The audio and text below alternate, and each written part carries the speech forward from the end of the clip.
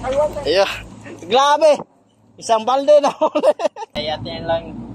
Ayan na, puno na yung sako mga kabay. Mga kabits, isda yan lahat. Yun guys, uh, linagyan na natin ng musket para marami tayong mahuli. So, ayatin na tong guguluhin. Dito ta, sugod ba? Uy! Dito ta, sugod. Dari ta, sugod. Ale, dito tas tas. So, abukin na ano na namin. Guluhin namin yung isda dito para bumaba. At ihatid namin doon papunta doon sa aming musket. Alright. So yun, may raming isda dito. Ayan, oh, napakadaming isda. So, guguluhin natin sila. Ale, kayo, dakan kayo! Oh, napakadaming isda. So, update lang tayo mamaya. Sana bumaba sila lahat doon. At makahulit. Ito na yung mga isda. Pag bumaba sila doon sa musket, yari sila.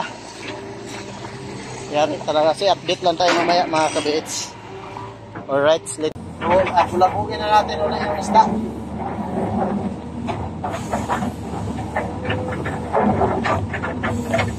Takboy na naman pa natin ulit doon sa doon sa ating kaibigan nandun. Yung ating kaibigan mga bay. At ayan na natin na itong bulabugin dito at yung maiwan dito ay hayaan na lang natin yung maiwan dahil marami na talaga tayo nahuli alright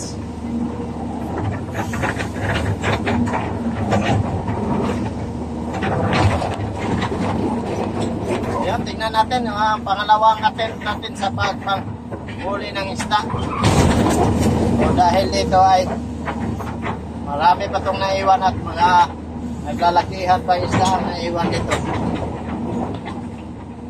So, tingnan natin kung may umaba pa ba doon dahil lubog na talaga yung ano na yung tubig, malabo na yung tubig.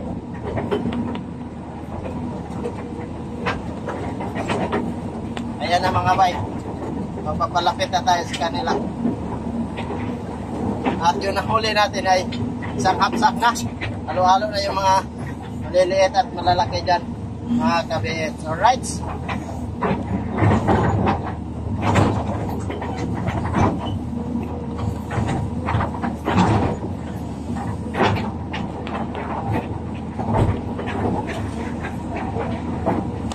Yan mga kabiit. Marami talagang isda. At may ano pa. Eh, hindi natin na kuha. Ayan. May dalag.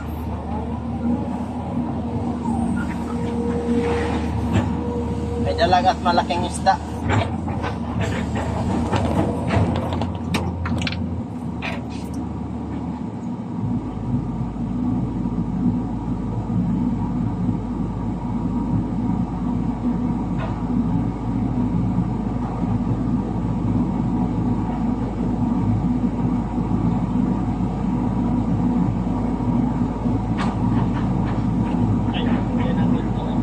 Medyo malalaking isda. Yan. So tuloy tayo sa pagbulabog sa isda dito. Yan mga kabiis. At yung mga naiwan ay hayaan na lang natin dahil marami na rin tayong nahuli kasi. Alright mga bay. At yung mga naiwan dito ay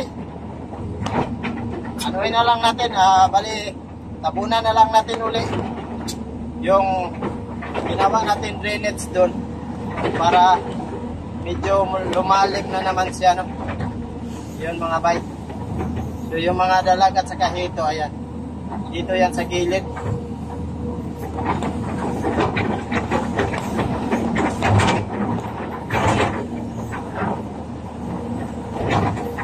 Ayan.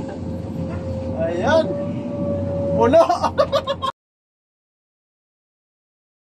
Huli natin mga kabits ay mahigit din mga yung pangalawang atin natin ay mahigit din 5 kilo yung atin nahuli.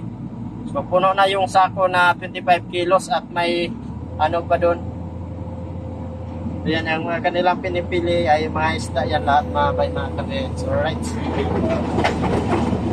So yan o, mga isda yan lahat na pinipili sa ating kaibigan. At yung ano, sako na yon ayan, sa kanyang likuran ay puno na. So yung ano, mayroon pa din dito yun o. So yun, ay puno na rin. So yun, maraming salamat sa lahat na nanonood sa ating ginagawang video. So, pasok na nila yan sa sako. Puno talaga yung sako mga kabits. At yung isda ay nahihilo, patay talaga yung mga isda dito maliliit at parang na rin sa mga ibon. Yo, ito lang naman yung area. Sana yung mga naiwan natin ay atin lang. Ayan o, puno na yung sako mga bay. Mga kabits, isda yan lahat. Yan, isda yan lahat at mayroon pa doon at hindi na nagkasya sa sako. At dito ay sinara na natin to para ano na rin para yung naiwan dito ay magkaroon ng tubig ulit.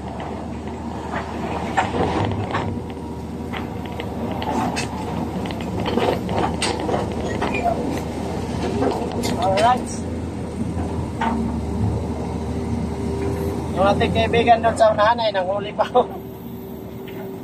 Ayan, ano lang, sinara lang natin para may mga maiwan pang mga isda.